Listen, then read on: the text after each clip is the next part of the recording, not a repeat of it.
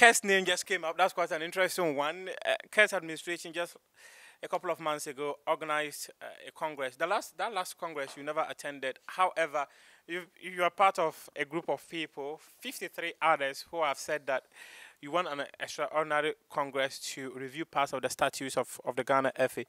Why do, are you demanding uh, a review of the statutes of the Ghana FA? There has been breach of a social contract that we signed when normalization organized the Congress to review the statutes of the FA. There were so many segments of the statutes that football people were not happy with. We set up committees to review the statutes. Mr. Ntofianko was part of it. Madam Abibata was part of it. Uh, Kofi Menu was part of it. Um, oh. Abu Jones was also part. The late Abu Jones? Yeah, the late Abu Jones was part of it. GHALCA also formed a committee to do the same, so that we will have a comprehensive review of the document. When we appeared before the normalization, they had taken an entrenched position on the statutes to implement whatever had been put out there. So, Dr. Randy Abbey made a very cogent suggestion that since we are limited in terms of negotiations, we should accept the statute as organ in situ, that is, as situated by the normalization, so that when normalization leaves the scene, we as football people will meet in a congress to be scheduled so that any review or amendments to be made to the document, we go ahead and do it. The current executive council and the president were all major stakeholders to this particular congress for which we signed this social contract. Now, having assumed authority at the FA, our colleagues who were part of this contract have clandestinely denied Congress members of this opportunity to do this review. Nabila, we've had two Congresses.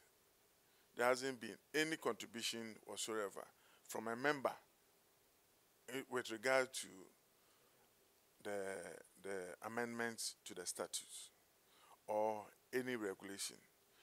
All the amendments had been submitted by the Executive Council or the Presidency. When you look at 25 of the statutes, it specifies that Congress is the supreme legislative authority when it comes to any amendment or anything in relation to the law, whether you are drafting a new one here and there and whatnot. It's Congress that it has to happen. And over the period, this is what has been happening. When our own colleagues took over, they have, one way or the other, avoided amendments coming from congressmen. Ralph Jamra triggered this process last year, that is 2020. It never saw the day of light. The moment he triggered it, FIFA was written to, to seek opinion as to whether we have the right to call for those amendments or not. And strangely enough, I've not cited that document, but I'm told that FIFA wrote to tell us that it was too early to amend the, the constitution or the statutes of the FA. How come you've not cited? Because I read it last year. Yeah, you read it. But whoever wrote that document did a great disservice to football. It was written by Veron Mosengo-Omba, who is now the, the General Secretary of CAF. It's the same Veron who came here and he said all sort of things. He hasn't got the right to do that because within our statutes, there's no prescribed time within which you can make amendments or not. So, so what are your concerns now in relation to the the the the new structure of Ghana football coming up? I'll, I'll, I'll come to that because, uh, Nabila, I don't want listeners to reduce our resolution to only the reduction of our delegates from 48 to 18. I don't want, because that is not what is in our resolution. It touches on so many areas. Okay. So I just wanted the precedence for uh, uh, uh, uh, the, the, the people to understand. Appreciate the trajectory. Yeah. So they have done convocation, and convocation has been made to such an extent that members are not allowed any time for you to suggest amendments. So, Raf, the technical uh, blow that was dealt to that resolution was that you couldn't meet the 30 day period. Accepted. This year, convocation was made two weeks to the time. The same 30 day period could not have been met. So the question is why is the executive doing their convocation within the time period that members could have tabled a proposal to amend? It's a strategy so that no amendment can come from any quarters. Now, agenda was sent to members this year, and part of the agenda, they have stated a whole lot football pyramid, autonomous league, but no document was attached to this agenda, which means that you cannot discuss this agenda in Congress. Because before you are able to discuss it, you table it before Congress for that motion to take effect. There's a need for members to be apprised with the content of the of the of the said proposal. This never happened. No votes were taken at Congress, so you cannot implement such a policy. But that said and done, we realized that the executives were bent on implementing it. So some of us started making references to our statutes, and it was clear that there's been infringement on this. The reason why this resolution has been made is that there has been infractions on the corporate governance system at the FA consistently and persistently by the current Executive Council. We are constantly referred to Article 39K of the statutes, and that is very categorical. It states that the current Executive Council, by their powers vested in them by the statutes, can approve and issue regulations governing what? Governing uh, uh, uh, football in Ghana. Nabila, if you want to understand law, it's about English. It's about English. You can approve. Approving what? Approving something that has been amended by another group. Or a proposal that has been tabled by another group. You cannot table your own proposal and approve it. Otherwise, where is the checks and balances? There's no control within such structure at the FA. So people interpreted the approve and issue to mean that they can amend our regulations. Remember when Medeama were to lose some points because of yellow card issue, because this amendment was not made at Congress, so members were caught midstream. They didn't know exactly what had happened to the statutes. And the response was that, oh, we sent the amendments to your email how many people will read that kind of document? If I'm part of the process and I've been given the legislative power to amend, why would you take that legislative power when you are not clothed with that legislative power? So, our idea or the resolution is to go to Congress and make sure that if the 39K is creating any ambiguity in the minds of the executive, we, we, we take it out of the statutes. Because there cannot be any conflict in the fact that it is the annual congress that is clothed with the legislative power to amend our statutes and any regulations. Currently, when CAF wanted to make amendments to the structure of the uh, Champions League, there was an extraordinary congress for which our president and uh, the general secretary willingly and willfully attended and legally attended. Why are we being denied of similar opportunity in Ghana? That we, as in Congress members, who are the owners or legitimate owners of the company or corporate GFA, we do not have the right to make amendments, but it's rather the executives that we have put out there that manage the company for us. They can dictate to the owners of the company that this is the direction that we must go. But the owners cannot reciprocate whatever they are doing. I don't think any corporate governance anywhere will allow this. No, it doesn't happen. That executives are rather making laws and dictating the laws on the owners of the company. Is that the way around? So we have the view that that particular article must be dealt with because it's being abused, misused for the purpose that they want to use it for. And before we be aware, we have been used for quite so long. So we have made it or stated it in our uh, uh, resolution that that should be gotten rid, rid of. We have the women's league.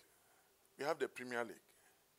All the Premier League clubs in Ghana, they have two votes, making it 36 votes. The women are 20 now. Within our proposal, we are saying that every Premier club at the women's level should also be given a delegate each so that they will not go for a mini congress to approve those who are eligible to vote in the main congress so that we will not be seen as discriminating against women. The affirmative action must start now. And some of us even contend that the uh, Division 1 of the Women's League, there, sh- there should be concession made towards that. Aren't you intending to expand the Congress? The electoral college must be expanded. It must Why? be expanded so that nobody in his right thinking mind can influence any of the delegates. Because the smaller the number, the easier it is for them to be influenced. The NPP, they've shown the way. That is how come they expanded the electoral college of those who vote for the presidency and other members of the what? Of the party, executive members of the party. That is democracy. In democracy, the larger the voters, the better it is because you cannot go and more or less use money or any material thing to influence the voters. Are you suggesting that it is possible to buy electorates? Nabila, we are in Ghana. Everything is possible. I cannot speak to anything, but I will go for the kind of system that will make that an impossibility or something that nobody will think of embarking upon. So you have to safeguard your own elections. You put it in a certain realm that nobody will contaminate our electoral processes at the FA. So don't reduce the number, rather expand it so that you can nobody can influence the elections. Simple, simple. You are rather suggesting that uh, uh, RFs, their delegates to Congress have been reduced. Their membership at the Executive Council level have been reduced from 10 to 2. These two will go for a meeting, they return from the meeting. And members at the RFA level would like to know what happened at the meeting. Be reminded that these two have signed that oath of secrecy. So, do you think they have the legal rights to divulge the information to their members? They cannot. So, eight of the regions are curtailed so far as information flow is concerned from the FA. Some of us who are abreast with the functionality of the RFA, we equate it to the FA presidency or the FA executive at the regional level. It is very involving. If previously we were of the view that most of the RFAs or the chairman do not function well, you need to put in place a system at the regional level that will make the RFAs functional. And this can be achieved. You can have a general secretary or a chief executive at that level. You can also have an IT expert. You can have staff members or a project manager. The FA will have to be served with quarterly reports from the uh, uh, regional level. These reports must be reviewed and submitted at the executive council level whenever we, uh, the executive council meet. Then decisions will be made on this, whilst this chairman will be present to deliver this report or speak to the issues raised in the report. This is the way to make the RFAs functional. But you cannot conclusively conclude that since Mr. A couldn't function at the regional level, when another person comes, that person cannot function. I have members like Kotoro, Osetutu, a very credible person, solid material. Rav Jamra, I mean, somebody who is studying law, uh, the least said about it, the better. You have Abuja, he's a water regional, uh, solid material. You have Robert Duncan from Central Region, the Western Regional, uh, uh, what's the name? Simon. All these people are of a certain level of substance. They cannot go to the executive council by virtue of the fact that only two people are allowed to be at that, le that level. And you are telling me that they are not functional. Nabila, it may interest you to note that the regional level, every region is unique on its own. The challenges encountered by Brong-Ahafo RFA, it's not the same thing that Qatar is encountering at the Greater Accra region. So when Qatar is at the Executive Council level, what advice or what information flow would they give to the Brong-Ahafo person?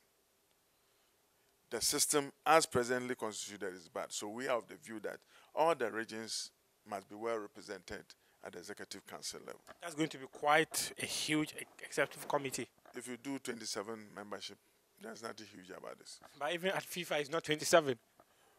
We have peculiar circumstances, and it must be dealt with. FIFA has only five or so continents. Seven. Seven continents. So every continent will have one person representing them. So it makes the mark very easy. Then people are voted from various uh, zones to represent. That's how come that number is, is, is there. They have designed their structure in such a manner that they pick information, vital information, from these sources and use it to implement their policies. We will also have to fashion out a similar, uh, uh, uh, we have 10 regions. That is what it is. Now we have 16. 16. So let's design a system that will bring all of them on board. But previously, only 10. We can start with that. Because the other regions, I don't think the FA is present. Brown is still controlling the uh, uh, Bono, Bono and uh, Odose, and the same Western region, the same. So it, it is not active. That is what we're saying. When you talk to referees, they have their own issues. They are not happy about the way things are moving. If you talk to coaches, they are not happy. Fusa, they are not happy. Beach soccer, they are not. So let us look at the statutes as it is and, and, and, and propose the, or deal with the proposed amendments that we are suggesting to make things work. After all, this was part of the social contract we had agreed at the, at the normalization congress for us to embark upon. So why are people going against the social contract that we signed? It's betrayal of trust in its highest order. And you know how risky that is. Next time, when people talk politics at the football level, people will not take them serious. Let's talk about the, the Super League. I've never seen a jurisdiction or heard anywhere where you have a Super League and a Premier League. If you have one, you can share with me. Where you have the Premier League, the next league is either the Championship or they will refer to the National Division 1. That is what it pertains elsewhere. So anybody who would just like to coin names and give it to a league that is being played is, is just engaging in semantics. Nabila, they are talking about football pyramid. I've never seen a pyramid with a flat top. A pyramid has a sharp apex. And by football pyramid, you can Google. When you Google, they will tell you. This is the kind of leg system that has so many clubs at the base, but smaller clubs at the what? At the apex. And that is understandable. Because and when you move into the elitist level of any league system or any league structure, only few people can play at the what? At the elitist level. Go to England, you will realize that uh, uh, I think 20 or 18 clubs, 20 Premier League clubs, and you have 24 playing in the championship. So this is a, a pyramid go to Egypt, go to Turkey, go to that is what is being practiced elsewhere. But in our case, they are suggesting a pyramid that has 18 Premier League clubs and 18 uh, uh, Super League clubs. How can you have 18 and 18? The, if you want to do a Super League, then we should have more clubs playing at the Super League than the what? Than the Premiership to have a pyramid. So the pyramid that was as described at Congress. It's not, after all, not a pyramid. You, you. It's a what? It's it's it's a facade. Deceiving this, I mean, deception in this highest order. Nabila, Google autonomous lake.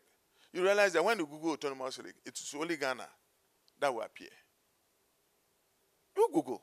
No, but you don't have autonomous league anywhere. It, what, what, what we, we have we can have a semi-autonomous league because the member association of FIFA is supposed to control the regulations that governs the game. Voila. So Nabila, how can you move to Congress and go and deceive the whole Ghana? The Ghana we are going to practice an autonomous league that is non-existent in this part of the world. Let me tell you something. What can trigger a change in the league structure is the fact that this league system that we are using is not giving us the results that we expect. For crying out loud, this system has produced four time African champions over a given period. Am I right? This has produced under 20 champions.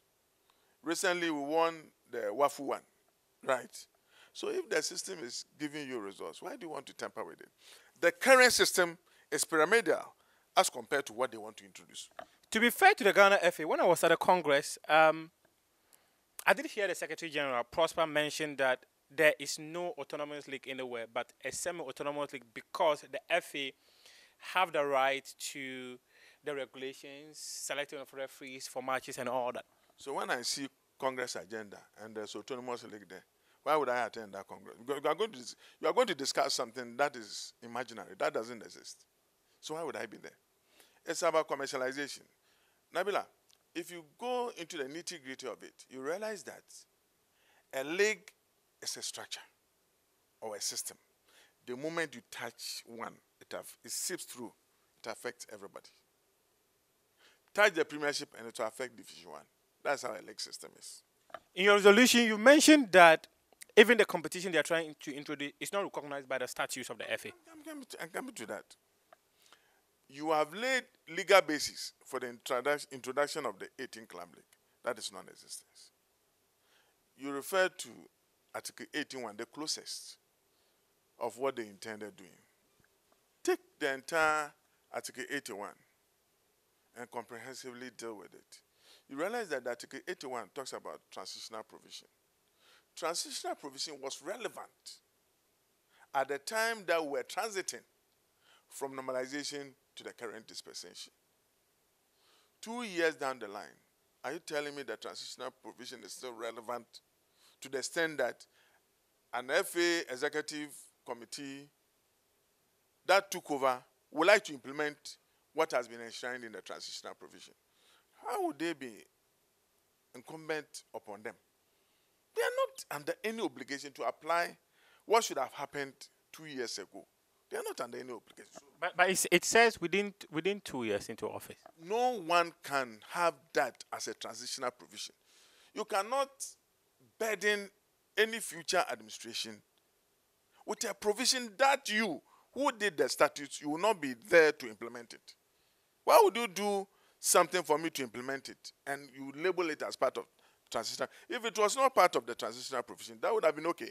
So check through the transitional provision. You will realize that all the uh, uh, letters labeled there, they've been implemented, except that this 81.6. That has not been implemented. Which means that those that were mentioned as transitional pro provisions were truly transitional provisions. What has not been implemented couldn't have been transitional. I talk to any legal person, they will tell. But but but but uh, uh, Palmer, if if the FA Congress accepted this document on September 25, 2019, it is binding on the FA to implement it. Uh, the same Congress can undo what was accepted. But the Congress have not assembled to undo it. Because of tactical disposition of the current Executive Council. So since it hasn't been changed, they still have to implement it. And in implementing it, you don't have to put a spin on what you intend implementing. I'll call it a spin. Spin in the sense that check the 816 that they are referring to.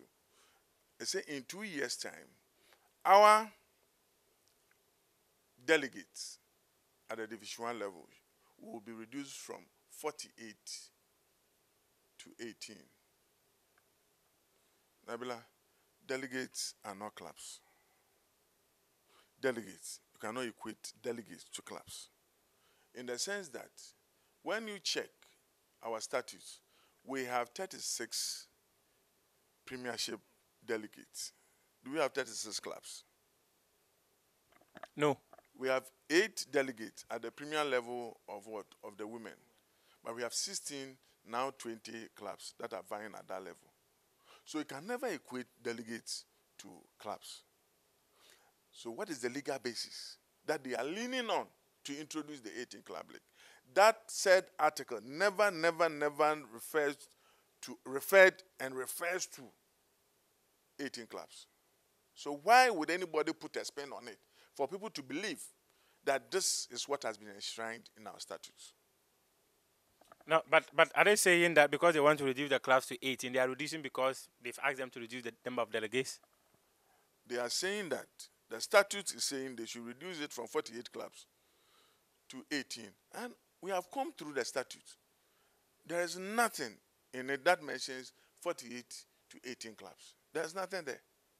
Nothing there. It talks about delegates being reduced from 48 to 20, for which we even, even oppose it. So are you saying that we can still have those 48 Division 1 clubs, but we'll have only 18 delegates? That, that is what is intended in the statutes as situated. Because the uh, uh, uh, Women's Premier League, they have they had 16. Eight delegates voted at Congress. This is what it was. I, I, you getting it? And this is what it is now that we are practicing until it is changed. So why will anybody insinuate that, oh, the moment they mention that we should reduce it from 48 delegates to 18 delegates, they mean that they should reduce it from 48 clubs to 18 clubs? It's not there. So the legal basis that you are even standing on is not there. So why, so why, why do you describe it as an offense? Offense? Offensive. Yeah, in the sense that, Nabila, somebody will say, because I'm 17 at the school, we have taken the pains to educate ourselves. So if somebody comes to you and is trying to sell chalk to you as paracetamol, as paracetamol. Would you accept it? Well, when, if you don't take time and you go and take that medication, God, heaven knows what may happen to you. So they are trying to sell chalk to us as paracetamol. Three questions, then we move on. Let me let me explain further. You see, Nabila, everything there's a preamble, or it has happened before. We used to have in our statutes that we should have 18 club Premier League. That wasn't the case then. But we did an amendment to move it from 16 to 18 clubs. Olympics and Kivesa had a legal tussle with the FA, for which there was the need for the matter to be settled out of court. I'm a Division 1 club and I was, I was in Division 1. We agreed to it because in any matter, you have to make sure that whatever you are introducing should have a human face. You should not insist on certain rights. So we all agreed. When we went to Congress, another proposal was tabled because we are going to relegate five teams in the subsequent year. So the Premiership clubs appealed to all of us that it will be too harsh. People's investments will be endangered. They gave all the reasons. We saw the reasoning in what they, they, they proposed. We agreed to the fact that they shouldn't demote five because it was going to be too harsh on the premier clubs. The Division 1 clubs, we all voted that only three clubs should be relegated. We could have also tabled the motion that, oh, relegate four, then you also promote four. It's scratch my back, I also scratch your back. And we had the numbers to do that. We failed to press the button. We gave, we caved in to whatever proposal that was because it was very, very, very uh, attractive. Now it has come to our turn. They say 30 clubs are to be demoted. And we say that is too harsh. The premier, some feeling elitists, do not want to back us. They are so self centered that they have forgotten that two years ago we bent backwards to make some of them maintain their premiership status. Because if you draw the line, that if they had relegated five clubs, Anna Meso Mekahuana. We are appealing to the premiership. Some have signed that this is not something meant for only Division 1. They are also affected because when we are able to have a solid Division 1 competition, we'll be able to produce players for the premiership. Georgia Free will say a Premier League club is a potential Division 1 club next season. Voila. That is what it is. I don't think my colleagues did the impact assessment well. Whenever you are introducing any policy or you go on a consult consultancy, you consult for any any company, you do restructuring here and then whatnot. Like when they introduced the um, uh, FinSap, the ERP, they did the environmental assessment uh, uh, analysis, and it is clear that people suffered. So when they introduced the ERP and what, they introduced PAMSCAD uh, to alleviate uh, social cost of what adjustment. Okay, you are introducing a policy, and when you ask them, have they done the impact assessment well? It's such. When you touch the division one, it's a system. If you demote 30 clubs, currently we have 82 referees officiating at that level. Can you will you use the 82 referees to officiate at division one? You have invested money to train these people, and they will move to the regional championship to go and referee at that level. There will be redeployment. Their incomes will be what? Will be affected. Economic circumstances will be affected. And Ghana will suffer in the final analysis. When you're about to implement any policy as an administrator, you do what you call environmental impact analysis. And within that, you will find the various stakeholders who will be affected by the policy directions or directive that you are giving to those that you govern. It's done at the global level, it's also done at the governmental level. So remember when ERP was introduced, the government went for a policy to introduce PAMSCAD to alleviate the poverty that the ERP had caused. That is the way you position yourself as a policymaker. Now, you look at the football and the various stakeholders within the football fraternity, and you look at the impact that the introduction of your policy will have on the respective stakeholders that you govern or you supervise. In relation to referees, we have 82 referees at the Division 1 level. So if you redeploy them and you send 30 clubs to the regional championship, you are one way or the other demoting the referees from Division 1 to move and go and referee at the regional championship level. I don't care as to how you call the regional championship, it's still the Division 2 as we have. Certainly, something is not regular here. You cannot take such a measure. Having trained these referees, invested in them, sent them on various programs, they are only awaiting promotion into a higher level. Now, they are rather being demoted to a lower level. It doesn't augur well for continuity in terms of football development. Because when we talk of football development, it's not only the player development. We are looking at refereeing development. We are also looking at coaches who will develop within the system. As I, I refer to as the one of the pillars of football. It's about football development. Okay. Now you look at coaches. We have over 140 licensed A coaches in Ghana. Some of them certainly are handling Division One clubs. I know of Bofuakwa, uh, fantastic coach. We played them at the top uh, uh, eight, and he was up there. Arsenal also has Ama, who is also a licensed A coach. It should tell you and inform you that when you demote the clubs to the regional championship, 30 of such clubs with their coaches will go down there. And what will happen? There will be redeployment. They will go and take lower salary because at the regional championship, it's not as attractive as the national division one. So certainly you cannot maintain your salary at that level. Economic circumstances will change. So you cannot go there. That is how come the referees supported and appended their signature to this resolution. You look at uh, uh, uh, coaches, they did same.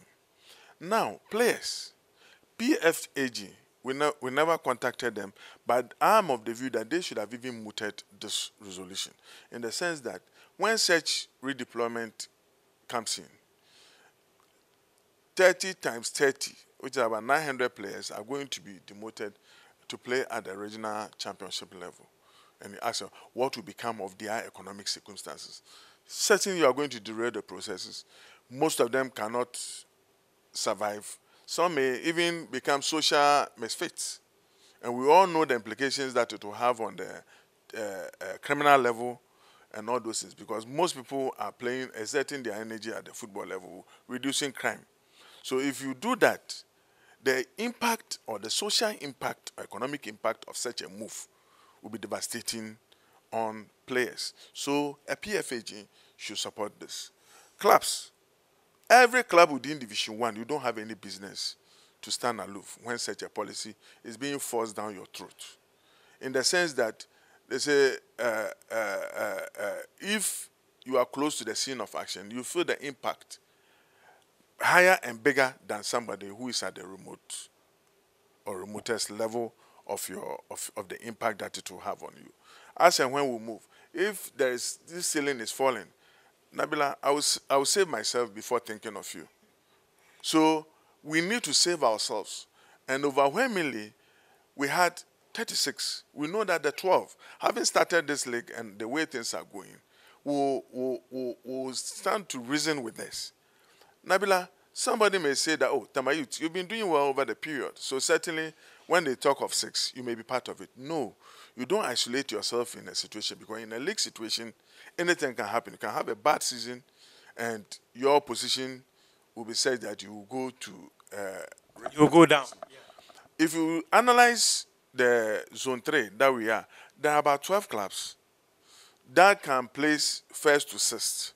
So you ask yourself, will you among the will you be among the six? You don't need to wait. Even if you can be first, you have to be empathetic in this matter and ensure that your investment and the investment of your other colleagues will not be endangered.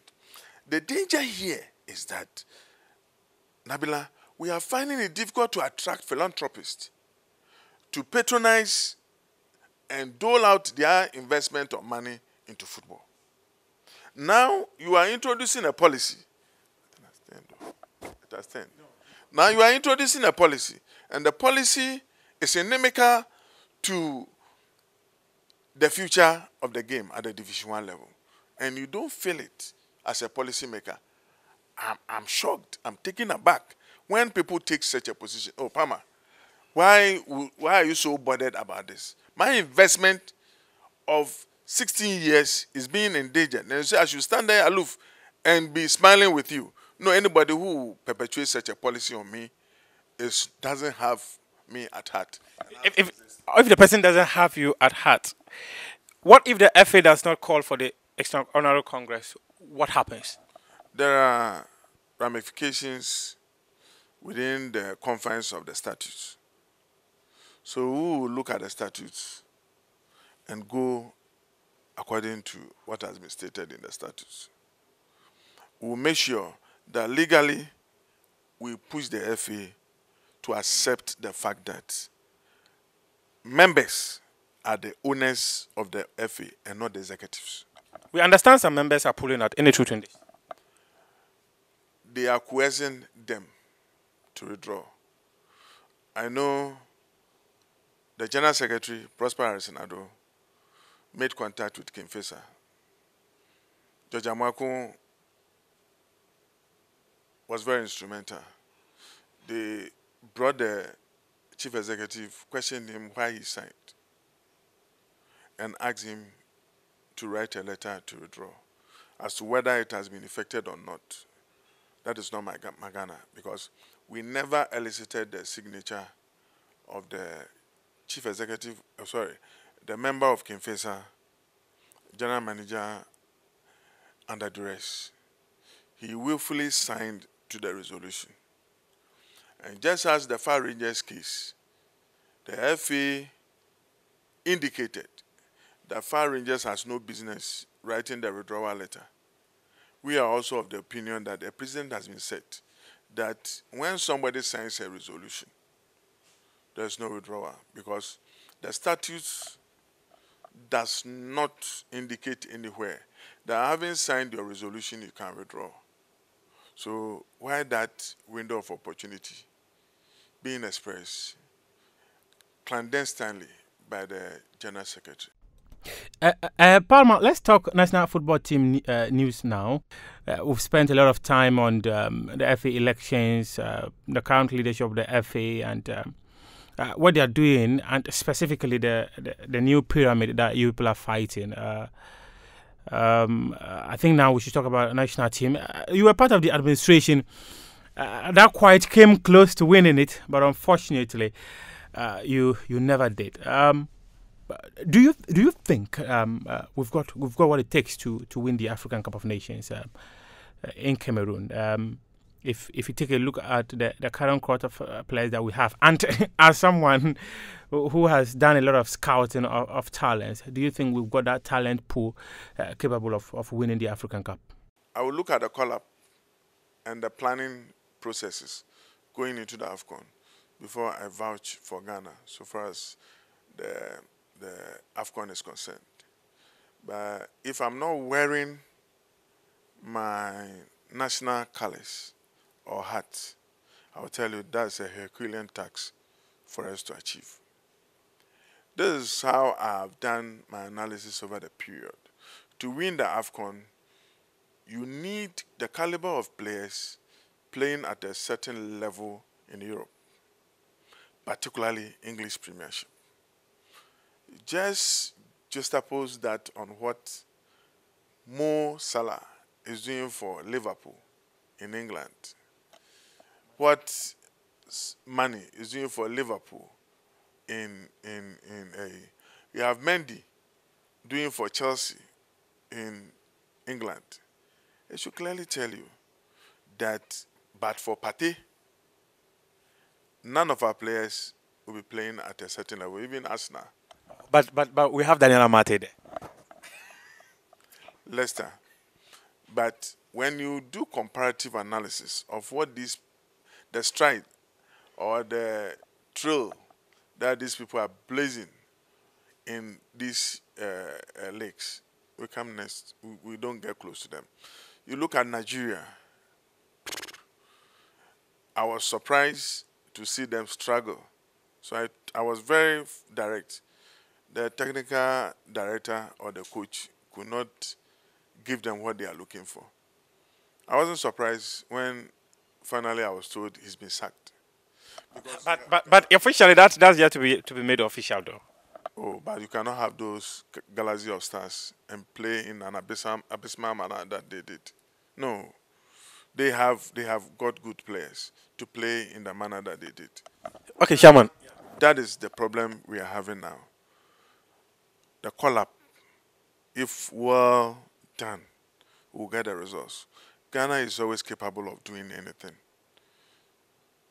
I will just wait for the call up and the planning process before I pass my comment. Is Tema Youth at CAS with the Ghana FA? No. Why? That issue has been truncated. Uh, Nabila, we've had processes at CAS, paid appropriate legal fees or filing fee of 1,000 Swiss francs. Having paid a uh, 1,000 Swiss francs, we sent to CAS electronic version through our mail. I use my email for that purpose. Then we made the request to file through the e-filing. They gave us a form, we filled the forms, sent it to them. Then we were given access to the e-filing platform. Nabila, we've uploaded information severally on, on countless occasions. It all returned the file is empty. The file is empty. We call CAS to seek assistance from the counselor. Anytime you call, they refer you to a counselor on the case. We called severally, we were told the counselor had gone for lunch. So we deemed it fit to write email to that effect, for which they recognized receipt of that email. Later on, CAS came back three days, having consistently done that. CAS came back to tell us that because we do not have the information in our e-filing platform, they cannot continue with the case. So sad and pathetic. We have sent them courier, voluminous document, courier, 60 page document with evidence by courier DHL. They wrote to us and said if they don't see evidence of the courier sent, they will discontinue the case. We had the evidence because we had sent it earlier on. So we provided them with a copy of the receipt that was issued to us by DHL. They only came back and wrote that they have cited that we have sent the courier. They have also seen the email filing process. We have filed all the processes here, but because the thing is not in the e-filing system, they cannot continue with the case. So it's purely due Have they reimbursed your money? electronic challenge. They, they told us that I should write for the refund of the money. Go to the CAS website. They have stated categorically that legal fees or cost of filing are non-refundable. They cannot refund it. But this one, they say they will refund. Are you, disapp- are you disappointed that you, you couldn't you couldn't proceed at CAS to uh, have what you you uh, you termed as um, poor decision making from the Ghana FA in relation to the how uh, Accra Lions qualified to, to the Ghana Premier League? How disappointed are you about that? Very much disappointed. This would have been a landmark case. My my solicitor will tell you that case was properly filed. We did all the research, and this time round, would have had the, the, the provisional measures. We had cited all the authorities that there is and would have had the provisional measures. I have grown to realize that if you are pursuing a matter and you get to a certain point and there are difficulties, do not push it beyond that point. I found a heart to forgive all those who had their plans. So strange. Somebody on the Division 1 League board played a prominent role in getting Tema Youth out. We lost these two points.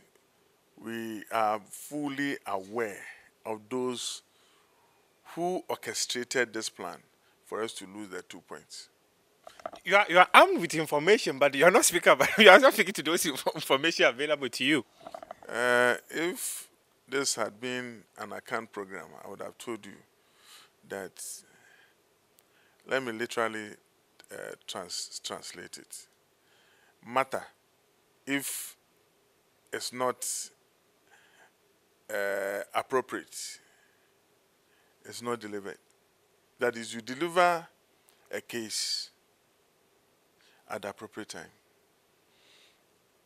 If you are you have clean conscience, if your heart is clean, any machinations, anything plotted against you, it will, people will come, eh, eh, it will come to you naturally. Because you don't have any negative things about people. So when you move, I hear.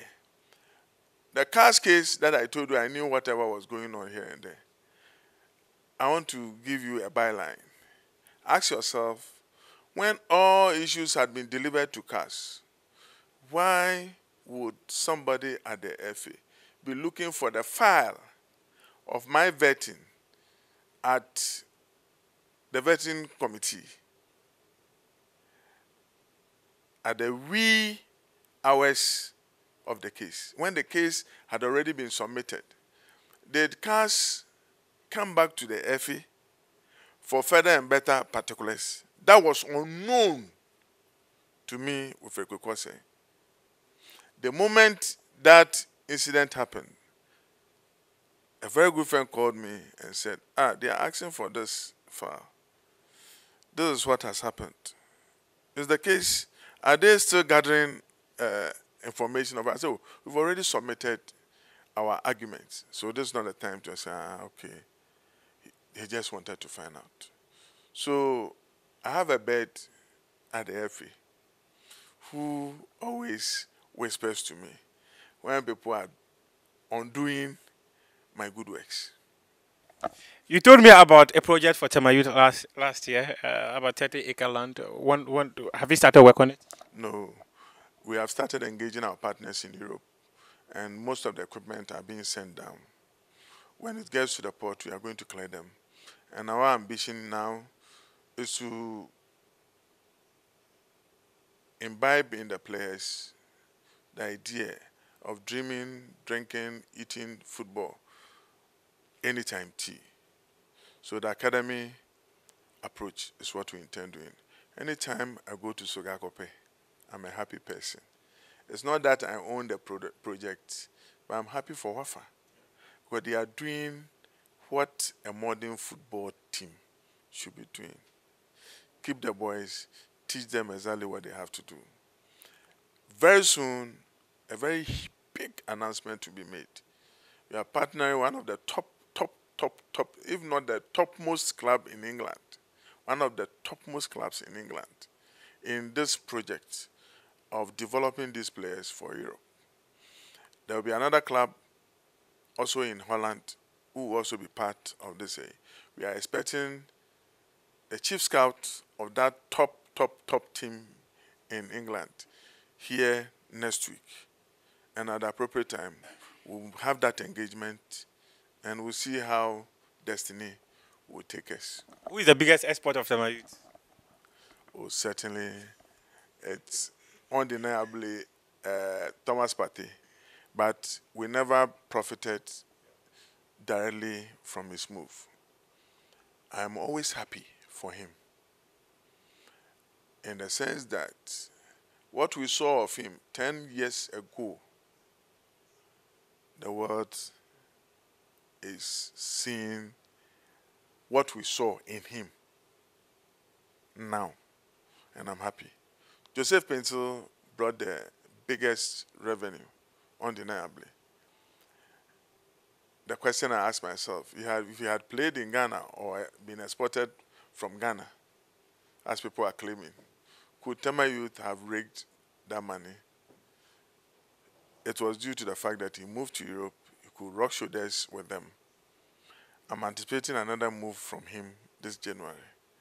And all that I always pray for is that God should give me the patience, the heart to discover and rediscover talent. Uh, you just you, mentioned that you didn't make money from um, the Thomas Partey, but when he moved to Arsenal, media reports said that your club made millions of euros or it thousands of euros from him? Uh, uh, thousands of euros from Thomas Partey's move, and it was quite quite uh, encouraging. And I always call solidarity as my pension money, which means that I have to work extra hard now to discover these players who will be globally competitive going forward. How much did you get from Thomas Partey's transfer to us now? Oh, this one. You let all those that I owe knock at my door tomorrow morning. But it was quite encouraging. But we never benefited from a direct transfer to Atletico. That's what could have been. But when we pushed Atletico and realized that they were reluctant, we never pushed the matter further. But under the circumstances, it was the boys or the player's career that was important than any financial gains that would have made. So if Thomas Partey had remained with Atletico Madrid, there is no way Tema Youth would have benefited from what we scouted for 10 years ago. Do you have sad moments of um, Kwesi? What happened to Kwesi following the number 12 expose? I wept that day at M Plaza. I wept for a very good reason because by benefit of hindsight, Kwesi should have been given the opportunity to sit outside the meeting that was held at M Plaza by the executive committee. Nabila, people may profess that they love you, they like you. It's when you get to a worst case scenario or a situation that is is puts you in difficulty that you know those who truly care and love you. What happened at M Plaza? We were having a meeting, and some of us were of the view that we should have respected Kwesi's last wishes of making Ankanap as the president of the FA to continue with that dispensation. If we had done so, FIFA would not have brought normalization. No lacuna would have been created because there will be an FA president. FA president will have the right to appoint his cabinet members appoint a vice president in that regard. So it would have been full. There wouldn't have been any need for normalization. So that would have continued the legacy that Kwesi fought for. But all this whittled within about 30 minutes. People lobbied. People engaged themselves in all sort of manipulations to ensure that that last wish was not carried through. I was given the privilege or the honor to chair that meeting. When documents were given to me, I protected the document. Unknowingly, I was protecting a document that had already leaked out to interested parties. I just wanted to observe something as to who was leaking information from the FA. And that day, it was very clear to me. That is not the way to govern. And I must say, that when you even confront Kwesi and ask him, he will tell you that there are certain decisions that he took in the spell of moment that he shouldn't have. The resignation, I am of the view that he should have postponed it, made sure that the FA was on its feet before resigning. But that did not happen. Akinab could have been appointed as the vice. And when the FA is not there, and when the FA president is not there, it's the vice who acts in his stead, or as the vice becomes automatically the president of the FA. All these necessary structures should have been put in place before leaving. This is by benefit of hindsight. I stood and fought, not because I don't respect, but by the fact that my investment was being endangered. Anytime you want to endanger my investments, you will not have the best of me. I will not, I will not be a gentleman. I will make sure that my rights are protected. And that's exactly what I did. Some of the issues I raised within that time frame, I don't know where it came from, but that is how come in the Quran or in the Bible we tend to have situational leadership. When somebody is not there, somebody pops up to show leadership. That's exactly what is needed at any particular point in time. But I was very, very sad that Ecolosos had exited in the manner that happened. Thank you very much, Palmer. um, that was Wilfred was saying, um, owner, Tema Youth FC, former Black Stars Management Committee chairman, uh, speaking to us on a plethora of issues ranging from how his career started and ended on the day he wept when Kwesi Nyantakyi, former president of the Ghana FA, former FIFA Foundation member, former FIFA Executive Council member, was hunted out of office following the premiere of an expose into alleged corruption and match fixing in Ghana football. It's been a pleasure coming your way with this conversation. I am Muftawu Nabila Abdulai. Continue to enjoy the rest of our programs. Thank you very much.